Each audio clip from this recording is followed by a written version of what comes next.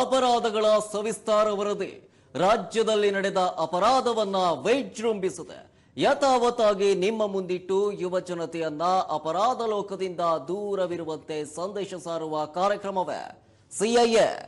ನಾನು ಶರತ್.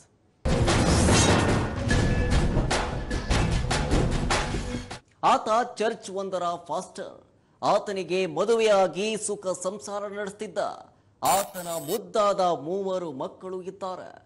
ಆದ್ರೆ ಚಪಲ ಚೆನ್ನಿಗರಾಯನಿಗೆ ಇನ್ನೊಂದು ಹುಡುಗಿ ಬೇಕಾಗಿತ್ತಂತೆ. ಹೀಗೆ ಆ ಹುಡುಗಿ ಜೊತೆ ಸಂಬಂಧ ಬೆಳೆಸಿದ್ದ ಆ ಭೂಪ ಪತಿಯನ್ನ ಮುಗಿಸುವುದಕ್ಕಾಗಿ ಪ್ಲಾನ್ ಮಾಡಿದ್ದ. ಐನಾತಿ ಕೆಲಸಕ್ಕೆ ಕೈ ಹಾಕಿ ಪಾಪಿ ಪತಿ ಈಗ ಪೊಲೀಸರ ಅತಿಥಿಯಾಗಿದ್ದಾನೆ.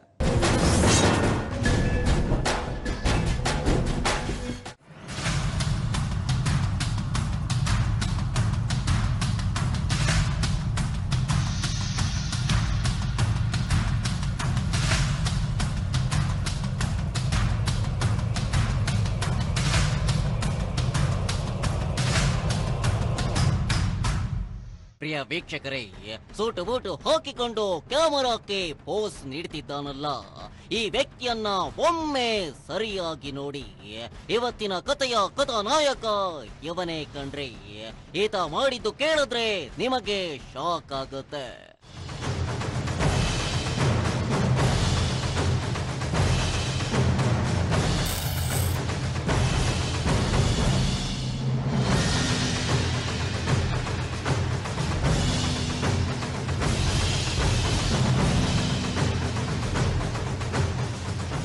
ಹೌದು.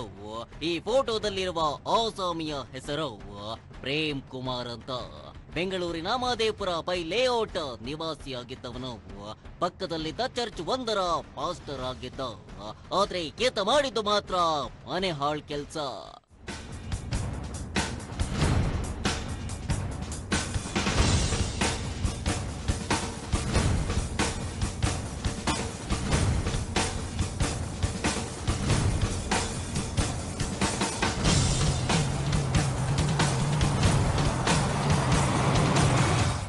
ಪ್ರೇಮ್ ಕುಮಾರ್ಗೆ ಹದಿನೆಂಟು ವರ್ಷಗಳಿಂದಲೇ ಲೋಮಿನಾ ಎಂಬುವರ ಜೊತೆ ಮದುವೆಯಾಗಿದ್ದವು. ಜೊತೆಗೆ ಇಬ್ಬರು ಹೆಣ್ಣು ಮಕ್ಕಳು ಹಾಗೂ ಒಂದು ಗಂಡು ಮಗು ಕೂಡ ಇದ್ದವು ಆರಾಮಾಗಿ ಜೀವನ ಮಾಡಿಕೊಂಡು ಎದ್ದ ಈತ.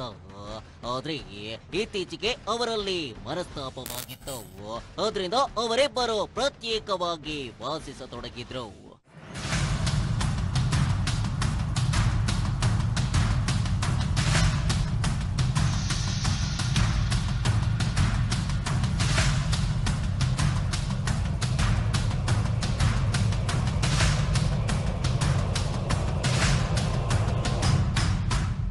ಪ್ರೇಮ್ ಕುಮಾರ್ ಮತ್ತು ಲೂಮಿನಾ ಇವರಿಬ್ಬರು ಹದಿನೆಂಟು ವರ್ಷಗಳ ಹಿಂದೆ ಮದುವೆಯಾಗಿದ್ರು.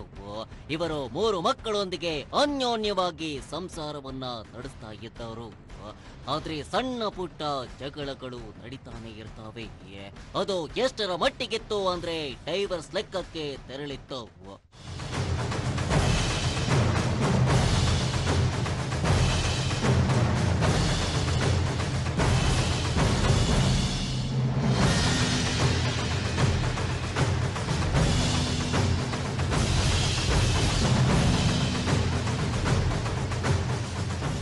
ಇನ್ನು ಪ್ರೇಮ್ ಕುಮಾರ್ ಪತ್ನಿಯೊಂದಿಗೆ ಮನಸ್ತಾಪವೂ ಕೂಡ ಉಂಟಾಗಿತ್ತು ಇದರಿಂದ ಪ್ರೇಮ್ ಲುಮಿನಾಗೆ ಡೈವರ್ಸ್ ನೀಡುವುದಾಗಿ ಮುಂದಾಗಿದ್ದಂತೆ ಇನ್ನು ಪ್ರೇಮ್ ನ್ಯಾಯಾಲಯಕ್ಕೆ ಡೈವರ್ಸ್ಗೆ ಅರ್ಜಿ ಸಲ್ಲಿಸಿದ್ದಂತೆ ಆದ್ರೆ ಈ ವಿಚಾರಕ್ಕೆ ಲೋಮಿನಾ ಒಪ್ಪಿರ್ಲಿಲ್ಲ.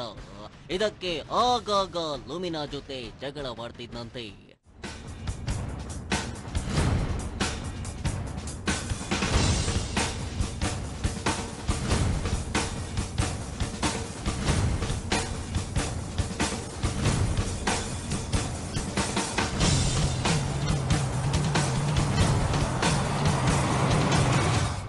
ಅಂದ್ಹಾಗೆ ಪ್ರೇಮ್ ಕುಮಾರ್ ಪತ್ನಿಯೊಂದಿಗೆ ಡೈವರ್ಸ್ ವಿಚಾರವಾಗಿಯೇ ಆಕೆಯ ಜೊತೆ ಜಗಳ ಮಾಡೋಕೋ ಶುರು ಬಿಟ್ಟುಕೊಂಡಿದ್ದ ಈ ಪತಿರಾಯ.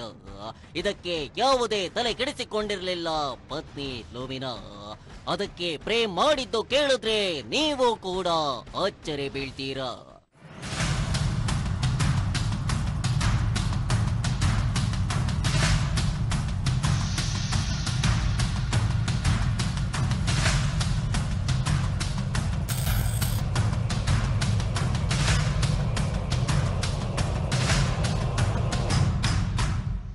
ನಿನ್ನ ಜೊತೆ ಸಂಸಾರ ಮಾಡಲು ನನಗೆ ಆಗಲ್ಲ ಅಂತ ಹೇಳಿದ್ನಂತೆ.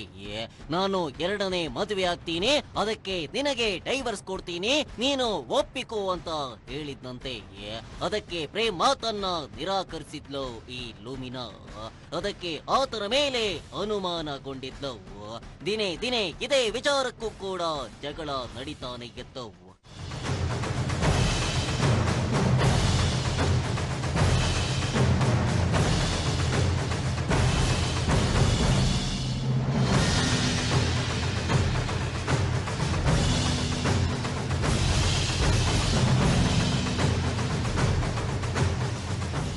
ಇನ್ನು ಪ್ರೇಮ್ ಕುಮಾರ್ ಬೇರೆ ಯಾವುದೋ ಹುಡುಗಿ ಜೊತೆ ಸಂಬಂಧ ಇದೆ ಎಂಬುದು ಲೂಮಿನಾಳಿಗೆ ಅನುಮಾನ ಬರುತ್ತೆ. ಆದ್ರಿಂದ ಡೈವರ್ಸ್ಗೆ ಅವಳು ಸುತಾರ ಒಪ್ಪುತ್ತಿರಲಿಲ್ಲ.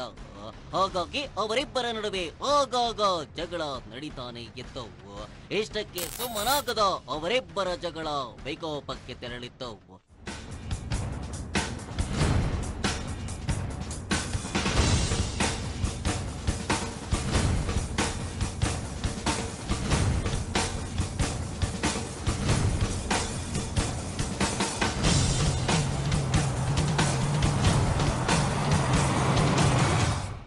ಇನ್ನು ಪ್ರೇಮ್ ಕುಮಾರ್ ಅದ್ಯಾವ ಹುಡುಗಿ ಜೊತೆ ಸಂಬಂಧ ಇಟ್ಕೊಂಡಿದ್ನೋ ಅನ್ನೋದು ಅವಳಿಗೆ ಮೊದಲೇ ತಿಳಿದಿತ್ತು ಆದ್ರೆ ಅವಳು ಯಾರು ಅನ್ನೋದು ಮಾತ್ರ ಲೋಮಿನಾಳಿಗೆ ಗೊತ್ತಿರ್ಲಿಲ್ಲ ಕಣ್ರಿ.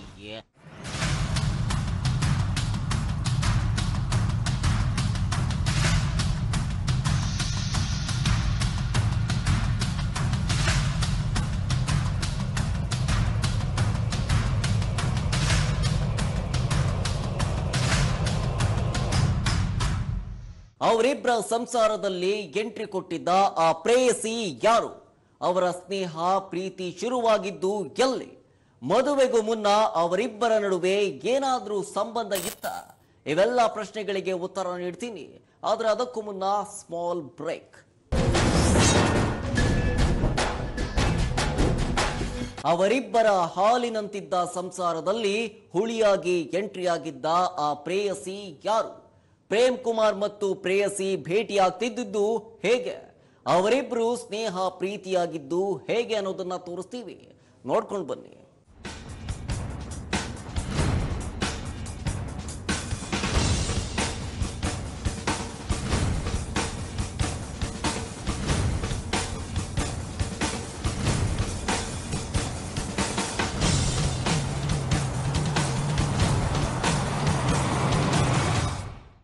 ವೀಕ್ಷಕರೇ, ಒಬ್ಬರನ್ನೊಬ್ಬರು ತಪ್ಪಿಕೊಂಡು ಪೋಸ್ ಕೊಡ್ತಿದ್ದಾರಲ್ಲ, ಇವರೇ ಕಣ್ರಿ ಆ ಪ್ರೇಮಿಗಳು. ಹೌದು, ಇವಳ ಹೆಸರು ಮೋನಿಶಾ ಇವಳು ಬೈ ಬಡಾವಣೆಯ ನಿವಾಸಿಯಾಗಿದ್ದವಳು. ಆಗಾಗ ಪ್ರೇಮ್ ಕುಮಾರ್ಗೆ ಸಿಗ್ತಾ ಇರ್ತಾಳೆ.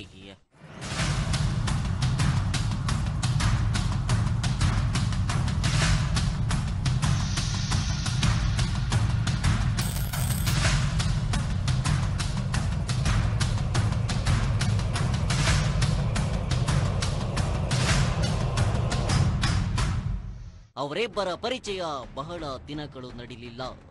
ಅದು ಬರುತ್ತಾ ಸ್ನೇಹವಾಗಿ ಒಳಗೊಂಡಿತ್ತು. ಒಂದೇ ನಗರದಲ್ಲಿ ಗೆದ್ದ ಪ್ರೇಮ್ ಹಾಗೂ ಮೋನಿಶಾ ಆಗಾಗ ಭೇಟಿಯಾಗಲು ಶುರುವೆಚ್ಚುಕೊಂಡಿದ್ರು. ಹೀಗಾಗಿ ಅವರ ನಡುವೆ ಸ್ನೇಹ ಕೂಡ ಬಹಳ ದಿನ ಉಳಿಯೋದಿಲ್ಲ.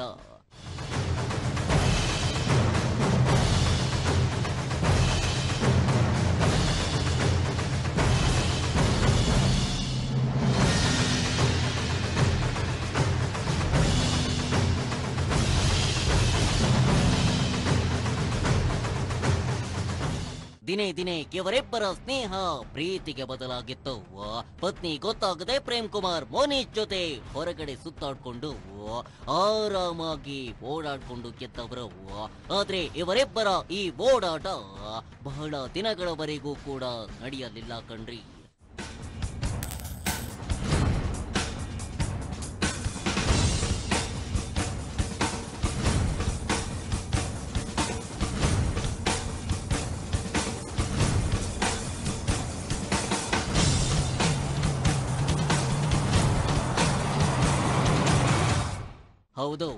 ಇವರಿಬ್ಬರು ಓಡಾಡಿಕೊಂಡಿದ್ದ ವಿಷಯ ತಿಳಿದು ಮೋನಿಶಾಳ ತಮ್ಮ ರೋಹಿತ್ ಎಂಬುವನಿಗೆ ಗೊತ್ತಾಗಿರುತ್ತೆ. ಆದ್ರಿಂದ ತಮ್ಮ ಅಕ್ಕನ ವಿಚಾರವಾಗಿ ಪ್ರೇಮ್ ಕುಮಾರ್ ಕಡೆ ಕೇಳಿದ್ದಾನೆ. ಆಗ ಏನು ಗೊತ್ತಿಲ್ಲದ ಹಾಗೆ ನಟಿಸ್ತಾನೆ. ಇವರಿಬ್ರು ಓಡಾಡಿದ್ದು ಎಲ್ಲವನ್ನ ಬಾಯ್ಬಿಟ್ಟಿದ್ದ ಈ ರೋಹಿತ್.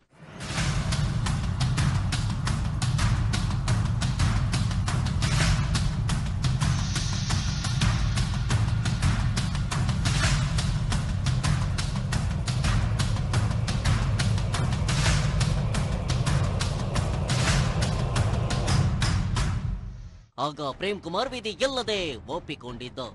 ಆಗ ನಮ್ಮ ಅಕ್ಕನನ್ನ ಮದುವೆ ಮಾಡ್ಕೋ ಅಂತ ಅವನಿಗೆ ಕೇಳಿದ್ದಾನೆ. ಆದ್ರೆ ಅದಕ್ಕೆ ಈ ಪ್ರೇಮ್ ಕುಮಾರ್ ಸುತಾರಾಮ್ ಒಪ್ಪಿರ್ಲಿಲ್ಲ. ರೋಹಿತ್ ಬೆದರಿಕೆಯನ್ನ ಕೂಡ ಹಾಕ್ತಾನೆ. ಆದ್ರೆ ಈ ವಿಚಾರವಾಗಿ ಅವರ ಮಧ್ಯೆ ಜಗಳ ಕೂಡ ನಡೆದು ಹೋಗಿರುತ್ತೆ.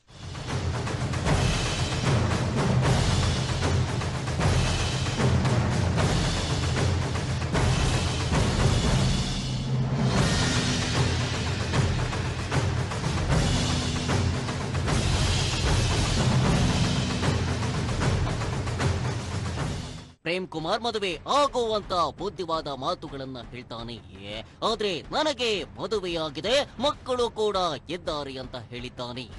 ಆದ್ರೆ ರೋಹಿತ್ ಅಷ್ಟಕ್ಕೆ ಸುಮ್ಮನಾಗದೆ ನನಗ್ ಗೊತ್ತಿಲ್ಲ, ನಮ್ಮ ಅಕ್ಕನ ಮದುವೆ ಆಗ್ಲೇಬೇಕು ಅಂತ ಪೀಡಿಸತೊಡುತ್ತಾನೆ ಈ ಮಾತಿನಿಂದ ಪ್ರೇಮ್ ಕುಮಾರ್ ನೋಡುವ ಅಂತ ಹೇಳಿ ಸುಮ್ಮನಾಗಿದ್ದಂತೆ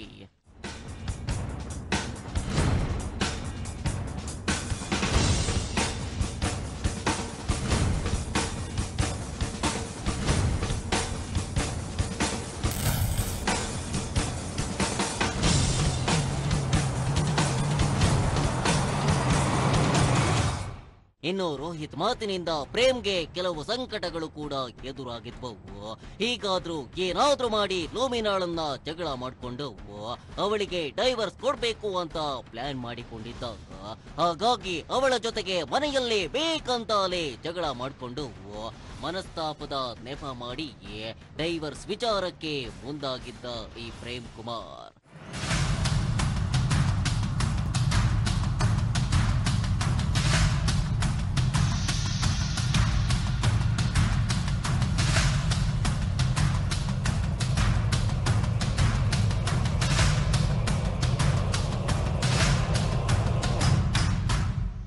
ಡೈವರ್ಸ್ ನೀಡಬೇಕು ಅಂತ ನ್ಯಾಯಾಲಯಕ್ಕೆ ಅರ್ಜಿಯನ್ನ ಸಲ್ಲಿಸಿದ್ದ ಈತ.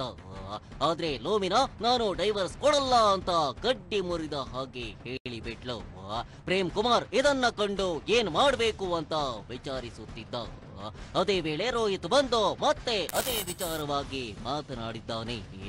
ಆಗ ನಿಮ್ಮ ಅಕ್ಕನ ಮದುವೆ ಆಗ್ಬೇಕಂದ್ರೆ ನನ್ನ ಹೆಂಡತಿಯನ್ನ ಮುಗಿಸ್ಬೇಕು ಅಂತ ಹೇಳಿದ್ನಂತೆ ಈ ಪಾಪಿ ಪತಿರಾಯ.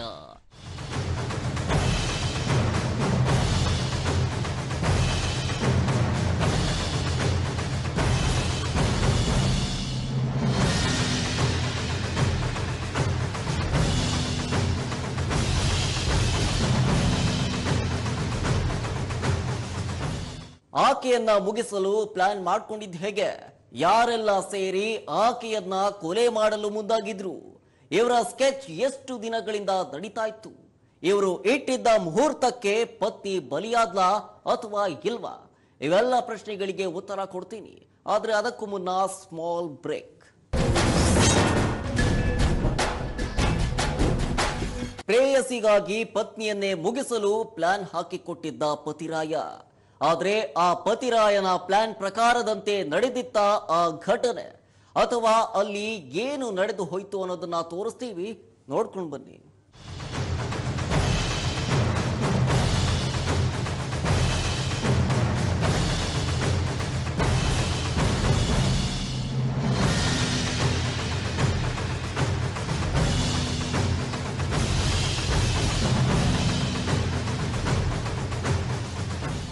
ಪ್ರಿಯ ವೀಕ್ಷಕರೇ, ನಿನ್ನ ಅಕ್ಕನ ಮದುವೆ ಮಾಡ್ಕೊಳ್ಬೇಕಂದ್ರೆ ನನ್ನ ಹೆಂಡತಿಯನ್ನ ಮುಗಿಸ್ಬೇಕು ಅಂತ ಹೇಳಿದ ಈ ಪಾಪಿ ಪತಿರಾಯ.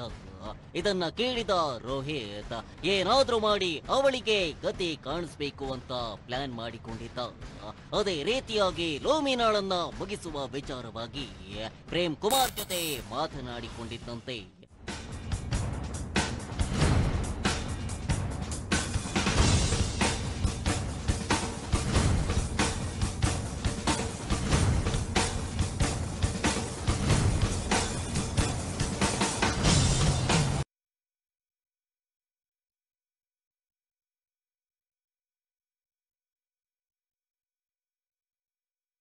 ಡೈವರ್ಸ್ ಕೇಸ್ ವಿಚಾರಣೆ ಇದ್ದವು. ಈ ಸಂಬಂಧ ವಿಚಾರಣೆ ನಡೀತಾ ಇದ್ದವು ಇವತ್ತು ಕೂಡ ವಿಚಾರಣೆಗೆ ದಂಪತಿಗಳು ಸಮೇತವಾಗಿ ಹಾಜರಾಗಬೇಕಿತ್ತು ಈ ಮಧ್ಯೆ ಮೋನಿಶಾ ತಮ್ಮ ರೋಹಿತ್, ತಮ್ಮ ಅಕ್ಕನನ್ನ ಮದುವೆಯಾಗುತ್ತೀಯೋ ಇಲ್ವೋ ಅಂತ ಧಮಕಿ ಹಾಕಿದ್ದಾನೆ.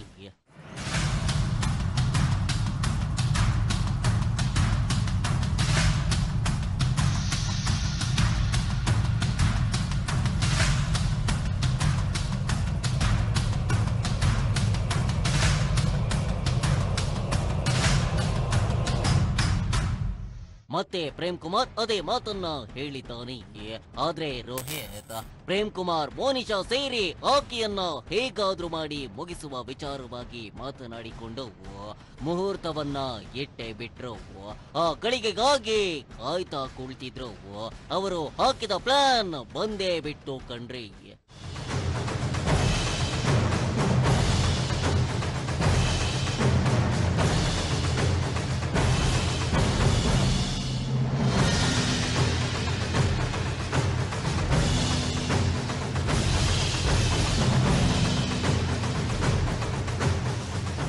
ಲೋಬಿನ ಫ್ಲೈ ಲೇಔಟ್ನಲ್ಲಿರುವ ತಮ್ಮ ಮಾವನ ಮನೆಗೆಂದ ರಾತ್ರಿ ತಮ್ಮ ಮನೆಗೆ ತೆರಳುತ್ತಿದ್ದಾಗ ಅದನ್ನ ಗಮನಿಸಿದ್ದ ರೋಹಿತ್, ಇವಳನ್ನ ಮುಗಿಸುವುದಕ್ಕೆ ಇದೇ ಸರಿಯಾದ ಸಮಯ ಅಂತ ವಿಚಾರ ಮಾಡಿ.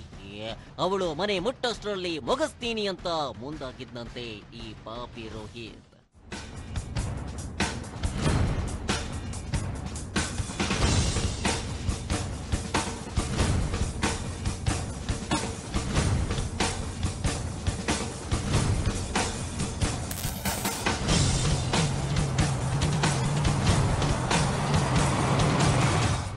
ಇನ್ನೇನೋ ಮನೆ ತಲುಪಿ ಗೇಟ್ ತೆಗೆದು ಒಳಗೆ ಹೋಗುತ್ತಿದ್ದ ಲೂಮಿನಾಳು ಆಗ ಹೆಲ್ಮೆಟ್ ಹಾಕೊಂಡು ಪಲ್ಸರ್ ಬೈಕ್ನಿಂದ ಬಂದ ರೋಹಿತ್ ನಡು ರಸ್ತೆಯಲ್ಲೇ ಲೋಮಿನಾಳ ಮೇಲೆ ಮಚ್ಚಿನಿಂದ ಹಲ್ಲೆ ನಡೆಸಿ ಪಾಪಿ ಪರಾರಿಯಾಗಿದ್ದಾನೆ. ಇನ್ನು ಹಲ್ಲೆ ಮಾಡಿದ ದೃಶ್ಯಗಳು ಸಿಸಿಟಿವಿಯಲ್ಲಿ ಸೆರೆಯಾಗಿದೆ.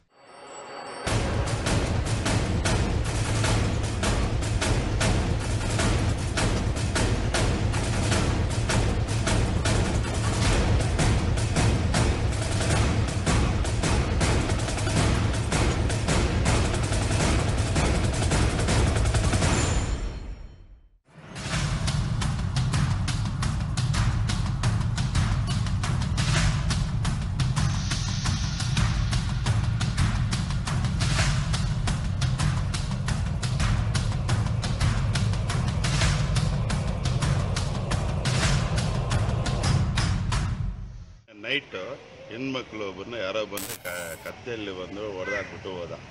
ಅದು ಏನು ವಿಷಯಕ್ಕೆ ಏನು ಅನ್ನೋದೆಲ್ಲ ನಮ್ಗೆ ಗೊತ್ತಿಲ್ಲ. ಹತ್ತುವರೆ, ಹನ್ನೊಂದು ಗಂಟೆ ಒಳಗೆ ಇದು ನಡೀತಾ ಇತ್ತು. ಅದೇನೋ ಅವ್ರದ್ದು ಪ್ರೀ ಪ್ಲಾನ್ ಇರುತ್ತೆ ಅನ್ನಿಸುತ್ತೆ ನಮಗೂ, ಬಟ್ ಕರೆಕ್ಟಾಗಿ ನಮ್ಗೆ ಐಡಿಯಾ ಇಲ್ಲ ಅದು. ಬಟ್ ಅವನು ಈ ಕಡೆಯಿಂದ ಬಂದು ಹೊಡೆದೋಗಿದ್ದಾನೆ. ನಾವು ಟಿ ವಿ ಇದು ಕ್ಯಾಮ್ರಾದಲ್ಲಿ ಕಂಡುಹಿಡಿದು ಅದು ರೆಕಾರ್ಡ್ ಮಾಡಿದ್ದೀವಿ.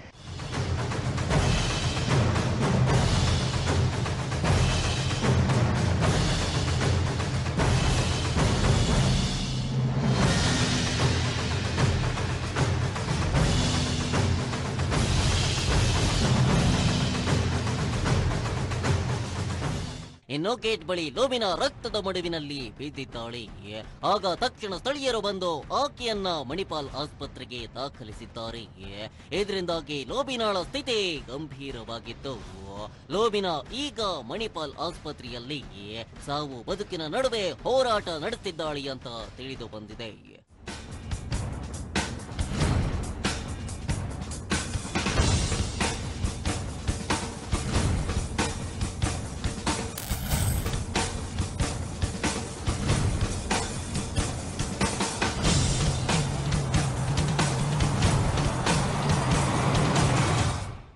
ಭಾಳ ಭಯಂಕರ ಅನ್ನಿಸ್ತಾ ಇದೆ ರಾತ್ರಿ ನಾವು ಯಾಕಂದರೆ ನಾವು ಪಕ್ಕದಲ್ಲೇ ಇದ್ದಿದ್ದು. ಹೇಗಾಯಿತು ಅಂತ ಏನು ಹೇಳೋದಪ್ಪ ಅವರು ಈ ಸಿ ಸಿ ಟಿ ವಿ ಪ್ರಕಾರ ನೋಡಿರೋದು ಅಮ್ಮ ಅವ್ರು ಬಂದಿದ್ದಾರೆ ಮಗು ಎತ್ಕೊಂಡು ಕರ್ಕೊಂಡು ಜೊತೆನಲ್ಲಿ ಬಂದಿದ್ದಾರೆ.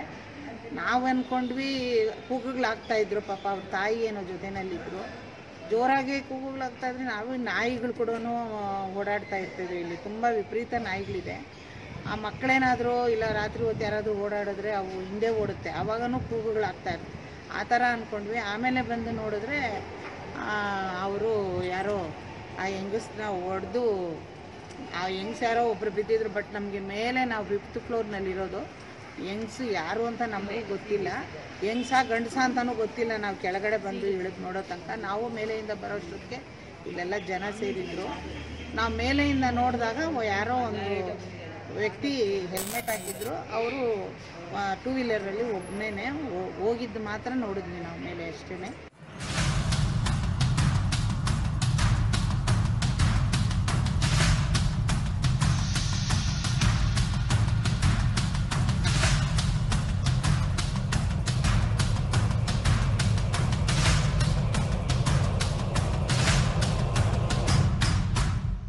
ಇನ್ನು ಮಾದೇಪುರ ಪೊಲೀಸ್ ಠಾಣೆಯಲ್ಲಿ ಈ ಒಂದು ಪ್ರಕರಣ ದಾಖಲಿಸಿಕೊಂಡು ತನಿಖೆಯನ್ನ ನಡೆಸಿದ್ದಾರೆ ಇನ್ನು ಪರಾರಿಯಾಗಿದ್ದ ರೋಹಿತ್, ಮೋನಿಶಾ ಹಾಗೂ ಪತಿ ಪ್ರೇಮ್ ಕುಮಾರ್ ಈ ಮೂವರು ಆರೋಪಿಗಳನ್ನ ಪೊಲೀಸರು ಈಗಾಗಲೇ ಬಂಧಿಸಿ ವಿಚಾರಣೆ ನಡೆಸಿದ್ದೇವೆ ಅಂತ ಪೊಲೀಸ್ ಮೂಲಗಳಿಂದ ಈಗಾಗಲೇ ತಿಳಿದು ಬಂದಿದೆ.